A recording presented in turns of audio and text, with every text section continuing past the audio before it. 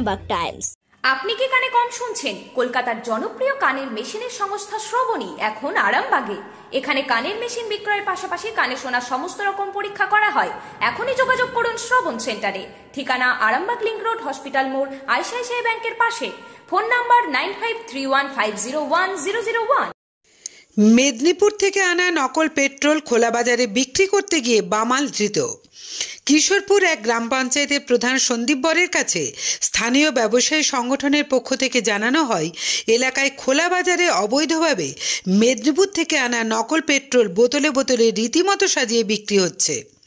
যারা কিনছে, তারা একটু পথ পেরিয়েই বুঝতে পারছে এটা নকল পেট্রোল। প্রধান সন্দীপ বর বিষয়টি নিয়ে নড়ে চড়ে বসেন। তিনি খানাকুল থানাতেও জানান, খানাকুল থানার পুলিশ এসে হাতে নাতে ধরে ফেলেন। এমন নকল পেট্রোল বলে সন্দেহ হওয়ায় পেট্রোল বাজেয়াপ্তও করেন বলে জানা গেছে। যদিও প্রশ্ন উঠতেই পারে, নকল পেট্রোল তো অপরাধ অবশ্যই, কিন্তু তার থেকেও বড় অপরাধ খোলা বাজারে বিনা লাইসেন্সে থরে থরে সাজিয়ে বোতলের পর বোতল, জ্বালানি তেল কীভাবে বিক্রি করা যায়?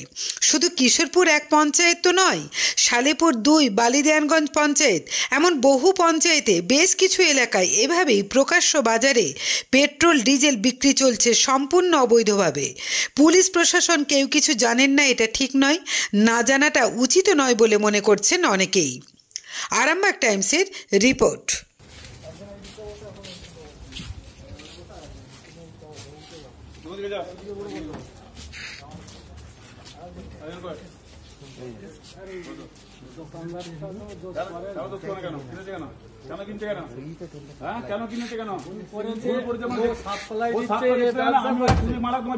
মালটা দেখবে না তুমি?